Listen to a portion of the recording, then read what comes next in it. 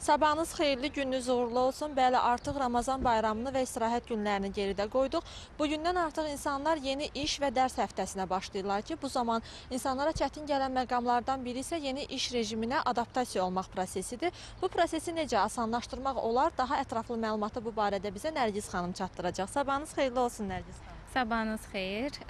Gərgin iş prosesindən sonra uzun bir tətil həftəsi hər kəs üçün təbii ki, bir dərman kimi gəlir. Çünki zehni fəaliyyətdə ən ehtiyacımız olan məsələlərdən biridir istirahət. Ancaq bundan sonra tətildən qayıdış sindromu yaşayır çox insan. İstər şagirdlərdə olsun, istər işləyən insanlarda olsun və bu zaman əsas bu sindrom dediyiniz proses necə olur?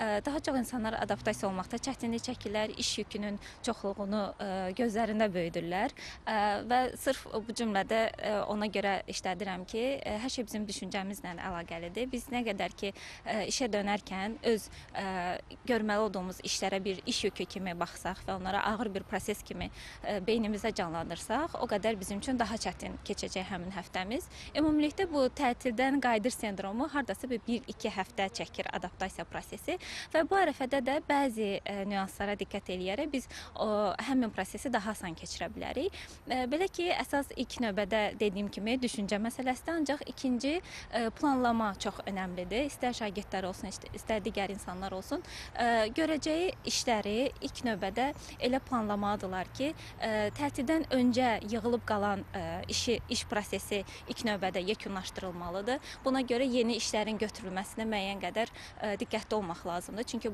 bu, zaman konsentrasiya pozulacaq.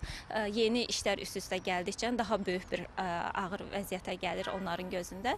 Buna görə planlamaya diqqət etmək lazımdır və ə, mütləq dərəcədə ə, həmin iş prosesini yüngülləşdirmək üçün özlərinə bir zaman ə, tanımalıdırlar və bu prosesi asanlaşdırmaq üçün də musiqidən istifadə edə bilərlər, özlərinin ruhlarına xoş gələ biləcək, ə, müəyyən qədər bu prosesi asanlaşdıracaq mahnılardan istifadə edərək ə, işlərini yekunlaşdıra bilərlər. Nərgiz xanım, bir sual vermək istərdim. Artıq tətil günlərindən başlayaraq biz özümüzü psixoloji olaraq buna hazırlamalıyıq. Mütləq dərəcədə artıq ə, qayıdış başladıqda insan fikri olaraq özünü hazırlamalıdır ki, artıq bu ə, bir iş hə- onun həyatının bir parçasıdır və iş ə, həyatı ilə normal ə, gündəminin bir balansını qurmağa başlamalıdır və bu zaman onlar üçün daha asan olur. Çünki işlərin planlamasını öncədən görmək o prosesin yarısını həll etmiş ə, olmaq deməkdir. Təşəkkür edirik ətraflı məlumatınız üçün. Bəli, bizim çatdıracağımız məlumatlar bunlardan ibarət idi.